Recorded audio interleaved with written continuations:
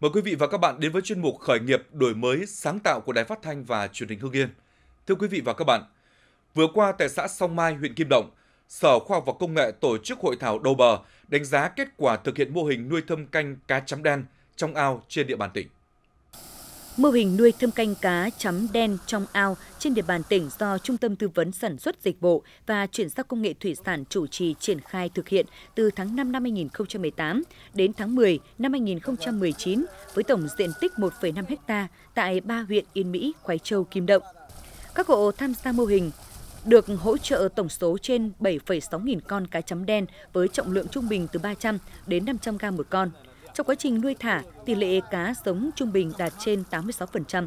Đến nay mô hình bắt đầu cho thu hoạch với trọng lượng từ 3,2 đến 3,8 kg một con, ước tính tổng sản lượng đạt trên 22 tấn. Dự kiến lợi nhuận thu được từ nuôi cá chấm đen trong ao đạt từ 200 đến trên 400 triệu đồng một hecta một chu kỳ nuôi thả.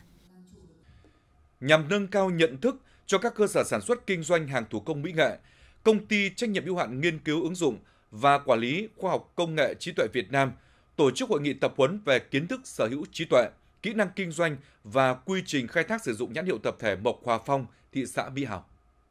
Gần 100 cơ sở sản xuất kinh doanh và người dân được hướng dẫn đăng ký bảo hộ nhãn hiệu, ghi nhãn trên bao bì sản phẩm, những bài học rút ra từ các vụ xâm phạm quyền sở hữu trí tuệ, đồng thời giới thiệu cho các hộ cách xác lập quyền sở hữu trí tuệ về nhãn hiệu như các quy định về nhãn hiệu, cách đăng ký nhãn hiệu, cách phân biệt nhãn hiệu được bảo hộ và không được bảo hộ. Từ đó, các cơ sở sản xuất kinh doanh, làng nghề mộc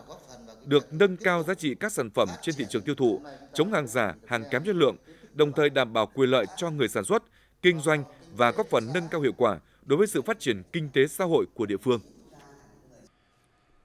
Những năm qua, Sở Khoa học và Công nghệ luôn đi đầu trong việc ứng dụng các tiến bộ khoa học và sản xuất nông nghiệp, đặc biệt việc đưa phương pháp thụ tinh nhân tạo vào chăn nuôi gà đông tảo đã góp phần nâng cao hiệu quả kinh tế và bảo tồn nguồn gen quý của giống gà đặc sản này. Dự án nghiên cứu ứng dụng kỹ thuật thụ tinh nhân tạo cho gà đông tảo và gà lai đông tảo được Sở Khoa học và Công nghệ triển khai từ năm 2016. Các nhà nghiên cứu và cán bộ kỹ thuật đến từ Viện Công nghệ Sinh học đã tiến hành thực nghiệm phương pháp thụ tinh nhân tạo gà đông tảo và gà lai đông tảo cho 50 hộ chăn nuôi tại xã Đông Tảo, huyện Khói Châu và xã Yên Hòa, huyện Yên Mỹ. Kết quả cho thấy tỷ lệ trứng có phôi đạt trên 91% và tỷ lệ nở đạt 90%.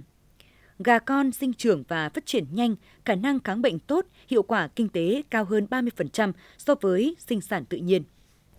Dự án cũng đã nghiên cứu và hoàn thiện phương pháp pha loãng và đông lạnh tinh dịch. Điều này có ý nghĩa rất lớn giúp bảo tồn, lưu giữ nguồn gen quý hiếm của gà đông tảo thuần chủng. Sở khoa học công nghệ, nói chung là giúp đỡ chúng tôi về nhiều mặt. Ờ, giúp đỡ chúng tôi về cách thức chăn nuôi, rồi cách thức thụ tinh nhân tạo là cho chúng tôi và hỗ trợ chúng tôi về dụng cụ. Và thậm chí còn cho cả người về hướng dẫn chúng tôi nhiều lần để chúng tôi làm. Như đến giờ phút này thì chúng tôi đã làm con gà thụ tinh nhân tạo nó rất là thành thục. Sau khi mà thực hiện cái phương pháp thụ tinh nhân tạo thì có thể khẳng định rằng cái cái cái cái chất lượng và cái hình thức của con gà cũng đã được nâng lên rõ rệt. Hình thức đẹp hơn, trọng lượng cũng có thể tăng tăng lên và tỷ lệ phôi, tỷ lệ lở cũng đã tốt lên rất nhiều.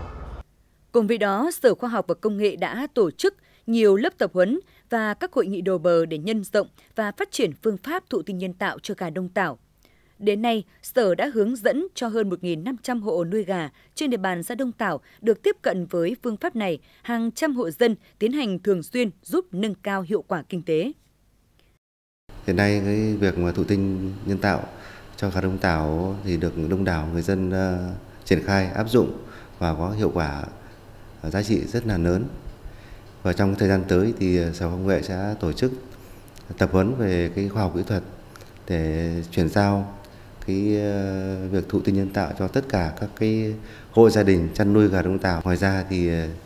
ờ, sẽ triển khai tới tất cả cái việc là thụ tinh nhân tạo cho cái các gà khác cũng như là các giống vật nuôi khác trên địa bàn tỉnh.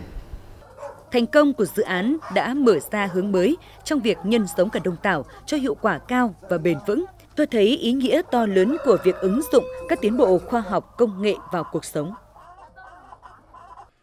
Chuyên mục khởi nghiệp đổi mới sáng tạo của Đài Phát thanh và Truyền hình Hưng Yên xin được khép lại tại đây. Cảm ơn quý vị và các bạn đã quan tâm theo dõi.